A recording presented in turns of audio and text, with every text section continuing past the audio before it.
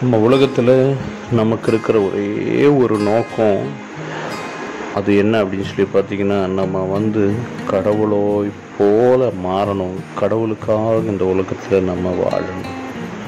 இப்போ வாழறது தான் நம்ம நம்ம மேலே கடவுள் வச்சுருக்கிற ஒரே ஒரு திட்டம். ஆனால் நாம் என்ன செஞ்சிடறோம்? நிறைய நேரத்தில் அதை மறந்துட்டு நம்ம சொந்த இஷ்டத்தை நாம் இங்கே நிறைவேற்ற நிற்கிறோம் நாமளை பெரிய டீச்சராக நினச்சிக்கிறோம். நாம் பெரிய ஒரு மாஸ்டர் இந்த உலகத்தில் நான் என்னை தவிர யாருக்கும் இது இந்த விஷயங்கள் தெரியாது. நான் ஒரு பெரிய ஒரு மகான் அப்படின்ற ஒரு நினப்பு நமக்குள்ள சில நேரத்தில் வந்துடுது இப்படி வரும்போது நம்ம நிறைய தெரிஞ்சுக்க வேண்டிய ஒரு உண்மை இருக்குது. என்னென்னா நாம் விழுந்துட்டோம் அப்படின்னு. நம்ம விழுந்துட்டு இருக்கிறோம் அப்படின்றது. ஏன்னா கர்த்தர் கடவுளுடைய வார்த்தை சொல்லுது பெருமையுள்ளவனுக்கோ கர்த்தர் எதிர்த்து நிற்கிறான்னு சொல்லி. அப்போ நம்ம எந்த ஒரு எவ்வளோதான் ஸ்டாண்டர்டில் நம்ம வாழ்ந்தாலும் எவ்வளோதான் படிச்சிருந்தாலும் அப்போ கடவுளுடைய பிள்ளைங்களுக்கு இருக்க வேண்டிய முதல் குவாலிஃபை குவாலிட்டி அப்படின்னு சொல்லி பார்த்தீங்கன்னா தாழ்மை. ஏன்னா நாம் நினச்சி நம்ம நமக்கு இந்த ஒரு பொசிஷனை கடவுள் தரல. அர்த்தம் நம்ம வந்து இந்த பூமியில் பிறக்கிறதுக்கு முன்பாகவே நம்மளோட பெயர் சொல்லி அழைச்சிருக்கிறாரு. நம்ம நம்ம என்ன படிக்கணும் என்ன நம்ம எப்படி வாழணும் எந்த ஒரு சுச்சுவேஷனில் நாம் இருக்கணும் அப்படின்றத அவர் அன்னைக்கே தீர்மானிச்சிருக்கிறார். அப்படின்றது தான் உண்மை.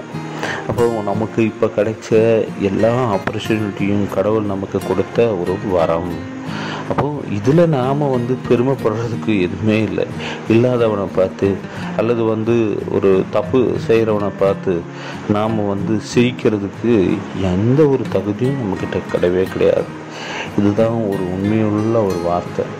இப்போ சில நேரத்தில் இப்படி நம்மளுடைய பெருமை என்ன பண்ணுதுன்னா கடவுளை விட்டு நம்மளை விளக்கி விடுது. அப்படின்றது தான் உண்மை.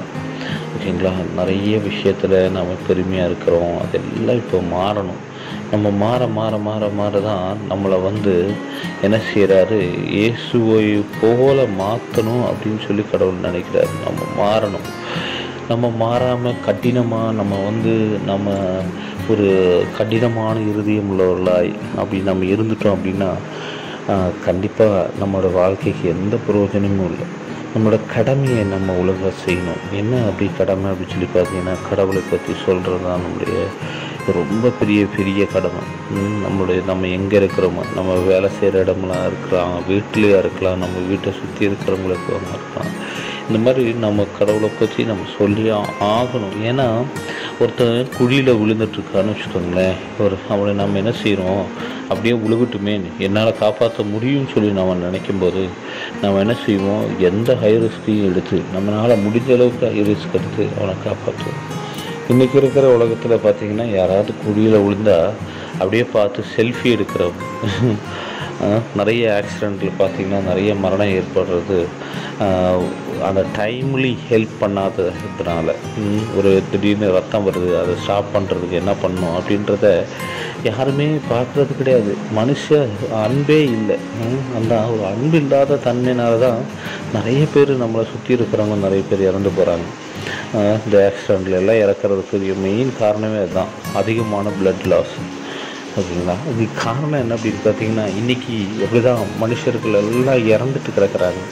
நல்ல காரியத்துக்கு இறந்துட்டு இருக்காங்க அப்போ அந்த மாதிரி இறந்துருக்கிற மக்கள் இடையில ஒரு ஜீவனை கொடுக்குறவங்களா கடவுள் நம்மளை வச்சுருக்கிறார். கடவுளை பற்றி நம்ம சொல்லியே ஆகணும். ஏன்னா மற்றவங்களுக்கு பிடிக்குதோ இல்லையோ அதற்கு செகண்டரி அவங்க கேட்குறாங்களோ இல்லையோ அது செகண்டரி நாம் செய்ய வேண்டிய கடமை நம்ம செஞ்சே ஆகணும்.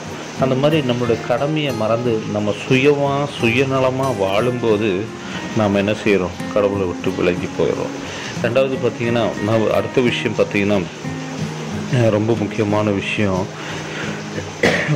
என்னால் முடியும். நான் வந்து தவறு செய்யாமல் என்னால் வாழ முடியும். அப்படின்ற ஒரு செல்ஃப் கான்ஃபிடென்ட் எப்போல்லாம் வருதோ அப்போல்லாம் நம்ம விழுந்துட்டோம்னு சொல்லி அர்த்தம். ஏன்னா நாம் நிற்கிற இந்த ஸ்டேஜ் கடவுள் நமக்கு தந்தது. இந்த ஸ்டேஜில் நான் நிற்கணும்னா அவர் நினைக்கணும். ஆனால் நாம் சொந்தமாக சுயமாக நாம் நினச்சோன்னா கண்டிப்பாக ஒன்றுமே நடக்காது. நம்ம கடவுள் நமக்கு வந்து கடவுள் அவருடைய அந்த ஹோலி ஸ்பிரிட்டை நமக்கு தந்திருக்கிறார். அவர் நம்மளை சகல சத்தியத்துக்குள்ளும் வழி நடத்துவாருன்னு சொல்லி அவருடைய வசனம் சொல்லுது.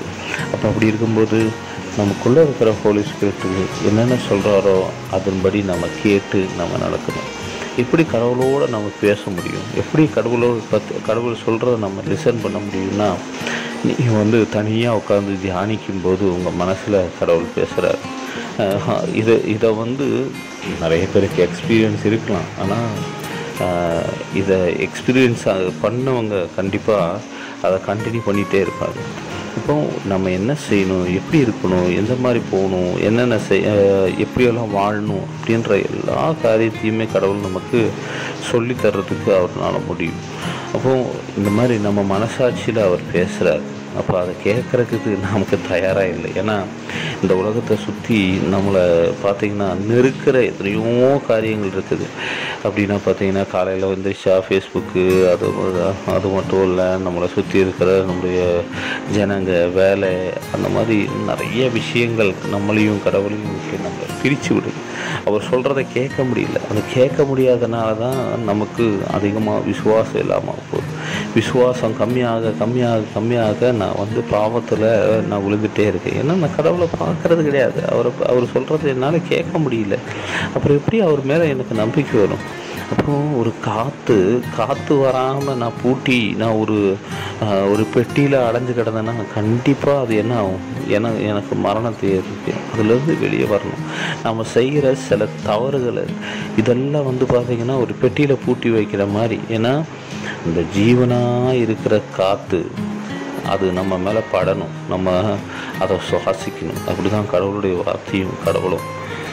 அவருக்கு அவர்கிட்ட நாம் நெருங்கி வரணும். நம்மளையே நம்ம ஒரு தப்பு செஞ்சு தப்பு செஞ்சு தப்பு செஞ்சு தவறுகளுக்குள்ளே நாம் கடந்துடக்கூடாது. அப்படி கடந்துட்டா நம்மனால எந்த பிரயோஜனம் இல்லை. ரொம்ப சீக்கிரமாக நமக்கு நேரிட வேண்டியது நேரிட்டு. அப்போ அப்படி இருக்கக்கூடாது நம்ம. நம்ம திருந்தி வரணும். திருந்தி நம்ம இருக்கிற அந்த ஒரு கோட்டைக்கிட்டேருந்து அல்லது அந்த ஒரு பாக்ஸில் இருந்து நம்ம வெளியே வரணும். வெளியே வந்து கடவுள் என்னென்ன திட்டத்தை நம்ம வாழ்க்கையில் செஞ்சு நினைக்கிறாரோ அந்த திட்டத்தை எல்லாம் நம்ம நிறைவேற்றணும்.